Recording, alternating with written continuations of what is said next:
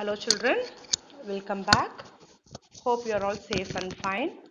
Okay, children, in the last uh, live class, uh, you remember the topic which we have uh, studied or which we have discussed?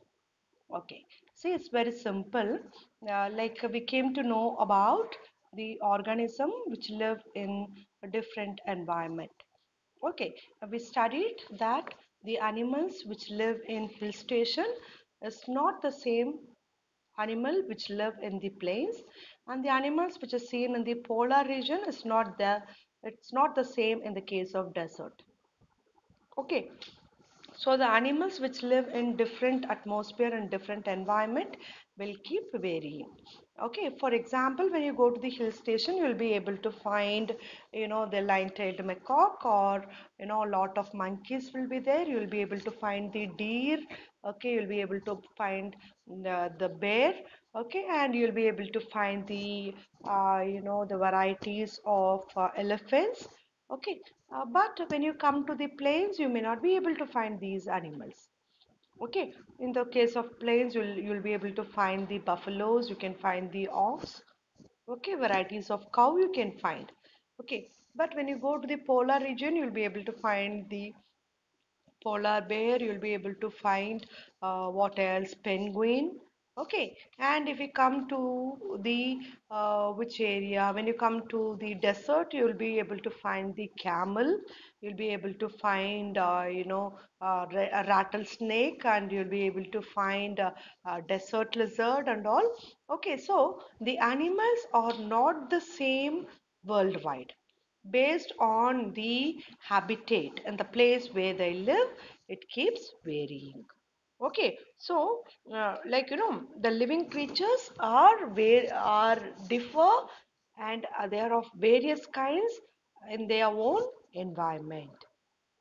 Okay and see in the place uh, you know where we live there is not even a single uh, you know uh, maybe uh, a hole we can find without any living organism. Even if you open your cupboard you'll be able to find the cockroaches there. Okay in the book rack you'll be able to find the silverfish okay and if you just go near uh, the tap you'll be able to find the mosquitoes okay if you go near the garden you'll be able to find the earthworm over there. So you'll be able to find lot and lot of living creatures in the environment in which we live. Okay and uh, what they do means uh, children they keep adjusting themselves to the environment in which they live. They adopt themselves. Okay for example if you take the camel which live in the desert, they drink water and save the water for days together. Okay, they have a hump on their back. Okay, and they save their water. Even without being thirsty, they can live for days together.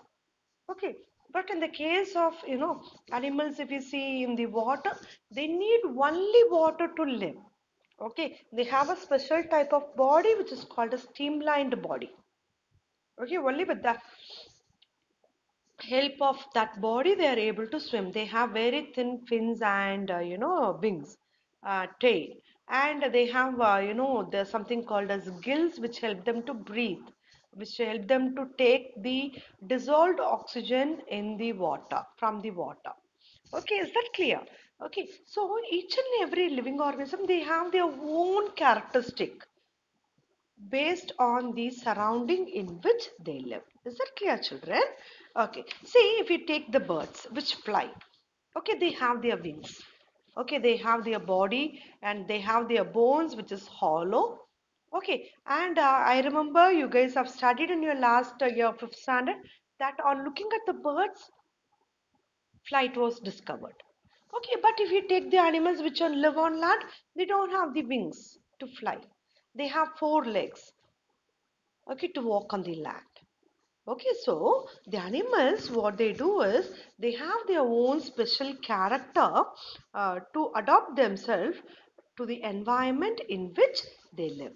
Okay the same way in the case of plants also. Okay there's in the uh, trees which are seen in the hill station there will be very thin eucalyptus pine all will be seen in the hill station. Okay but when you come to the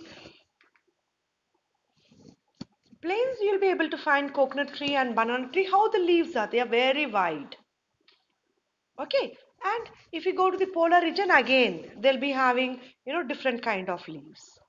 So even the plants okay plants are also not the same based on the climatic condition based on the environment in which they live. It is different from each other. Is that clear children? Okay bye